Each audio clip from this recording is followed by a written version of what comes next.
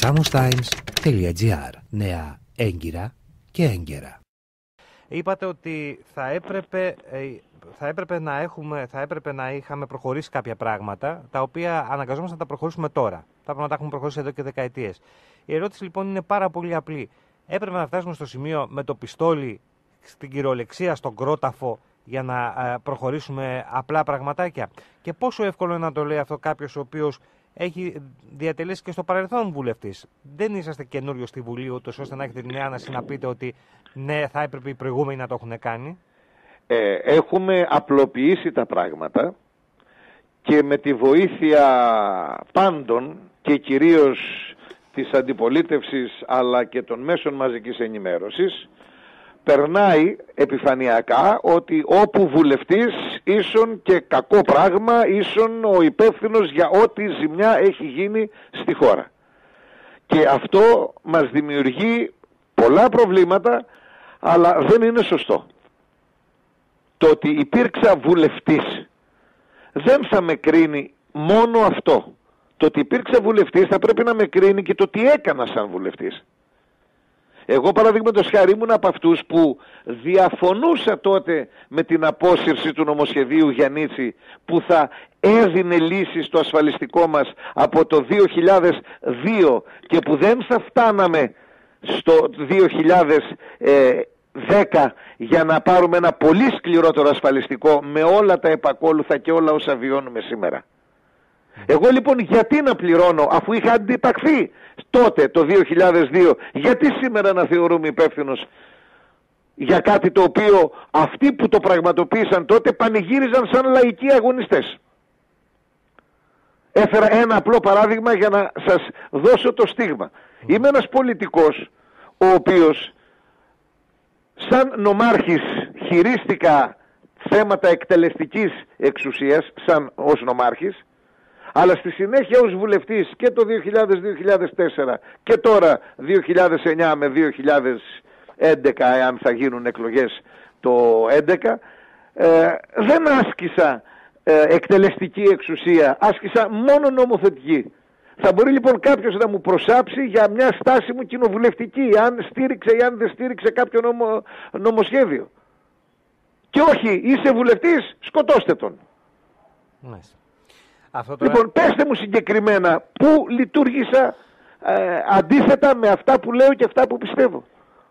Τα υπόλοιπα είναι λαϊκισμός και είναι πολύ εύκολη. Προσέξτε, κύριε Βουλευτά, ναι. δεν λέω ότι, ε, λέω το ότι γιατί να πρέπει να κάνουμε τώρα πράγματα που θα έπρεπε όντως να τα έχουμε κάνει εδώ και δεκαετίες, πρέπει να τα κάνουμε με το πιστόλι στο κρόταφο. Αυτό σας λέω. Γιατί έχουν τεράστιες ευθύνες αυτοί που άσκησαν. Και εγώ, αν θέλετε, δεν έχω πρόβλημα που δεν τα κάναμε τότε, αλλά το ότι δεν τα κάναμε τότε δεν σημαίνει ότι δεν θα πρέπει να τα κάνουμε τώρα έστω και με το πιστόλι στον κρόταφο. Αλλά ε, επισημαίνετε στο άρθρο σας ε, και την, ε, το, το προσωπικό κόστος τόσο για εσάς όσο και για την οικογένειά σας. Είδαμε και στους τοίχους εδώ της Σάμου, δεν ξέρω αν τους είδατε, αν τα είδατε. Ή... Δεν τους είδα γιατί δεν ήρθε στη Σάμου ναι. το Σαββατοκύριακο, όταν θα έρθω θα τα δω κι εγώ. Αλλά ε, πώς σας κάνουν όλα αυτά έτσι να αισθάνεστε; Εσύ τι λέτε; Υπέροχα. Στη Σάμο πάντα είχαμε καλικάτζαρους ναι. οι οποίοι νύχτα έκαναν ό,τι είχαν να κάνουν και γι' αυτό τους βγάλανε και έτσι. Ε, τέτοιοι καλικάτζαροι γράφουν τη νύχτα στους τοίχους. Αν η λύση της χώρας είναι να τιμωρηθεί ο προδότης, ας τιμωρηθεί και θα βρούμε την λύση. Τι να κάνουμε; Θα έχουμε νέα μέτρα τον Ιούνιο; Δεν το αποκλείω. Δεν σημαίνει όμως ότι ε, τα μέτρα σημαίνει περαιτέρω επειδή, περικοπές μισθών συντάξεων κτλ. Και έχω την εντύπωση ότι κάπου εδώ υπάρχει και υπερβολή. Άρα νέα μέτρα δεν αποκλείονται τον Ιούνιο, έτσι; Θα τα δούμε και τα νέα μέτρα. Είναι απαράδεκτο να μην έχουμε ένα σταθερό φορολογικό σύστημα. Οι χώρες με τις οποίες είμαστε σύμμαχες στην Ευρωπαϊκή Ένωση έχουν σχεδόν από, την από τη δεκαετία του 40 μετά τον πόλεμο σταθερά ασφαλιστικά συστήματα. Κύριε Βουλευτά, Ε, εμείς αλλάζουμε κάθε τρία-τέσσερα χρόνια. Δεν νομίζω ότι. Επιτρέψτε μου, θα το πω, δεν νομίζω ότι υπάρχει νοήμων άνθρωπος ο οποίος να μην συμφωνεί με αυτά. Αλλά η ένσταση πάλι είναι εδώ. Ναι, αλλά το αυτονόητο ψάχνουμε στη χώρα μας, έτσι. Δυστι- Συμφωνεί με αυτά, Δυστυχώς ψάχνουμε το αυτονόητο, αλλά δε- δεν μπορούν όλες αυτές οι αλλαγές να γίνονται υπό το καθεστώς ε, μιας βίαια προσαρμογής. Ναι, βρεθήκαμε όμως, βρεθήκαμε. Βρεθήκαμε.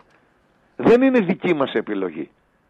Λέτε εμείς να θέλαμε να έχουμε το πιστόλι στον κρόταφο. Λέγατε εμείς να ξυπνήσαμε ένα ωραίο πρωί και να είπαμε θα ρημάξουμε τον κόσμο τώρα στις περικοπές. Και στη Σάμο δεν υπάρχει κανένας άλλος ένοχος, δεν έχει κυβερνήσει κανένας άλλος πιο μπροστά, δεν έχει κανένας τις ευθύνες, φταίει μονάχο ο προδότης ο βουλευτής και βγαίνουν κάποιοι καλικάτζαροι και τα γράφουν και στους δρόμους. Και μέσα στο κείμενό μου αναφέρω για ότι στους στίχους της Σάμου ο προηγούμενος προδότης ήταν ο Αλέξιος Σεβαστάκης. Για τους παλιούς το θυμόμαστε. Τώρα είμαι κι εγώ. Σας έχει εξοργήσει αυτό από ό,τι αντιλαμβάνομαι, έτσι. Ε, με έχει πολύ στεναχωρέσει. Δεν ξεκίνησα την ενασχόλησή μου με τα κοινά έχοντας έστω και στους εφιάλτες μου μια τέτοια εξέλιξη. Την ε, απόφαση της ομαρχιακής του Πασόκ πώς την ε, σχολιάζετε; Είπα ουγαρίδαση τυπιούση. Δεν έχω να προσθέσω τίποτε άλλο. Άρα άφεση αμαρτιών γιατί δεν ξέρανε. Όχι, εγώ δεν είμαι Χριστός για να έχω άφηση αμαρτιών. Όχι εσείς. Θα κάνω μια επισήμανση. πώς- Ουγαρίδαση τι ποιούση. Τώρα από εκεί και πέρα ο καθένας παίρνει τις ευθύνες του. Ναι. Πέρα πάντως από την απόφαση της νομαρχιακής, είχατε και προσωπικές επιθέσεις από τον γραμματέα της νομαρχιακής, τον κύριο Βασιλιά. Ε, δεν ε, θέλω να ε, ασχοληθώ με το θέμα αυτό και ούτε πρόκειται να απαντήσω. Είμαστε λίγοι στη Σάμο, γνωριζόμαστε και υπάρχουν πράγματα για τα οποία δεν χρειάζεται κανείς να μιλάει. Samostimes.gr Νέα έγκυρα και έγκαιρα.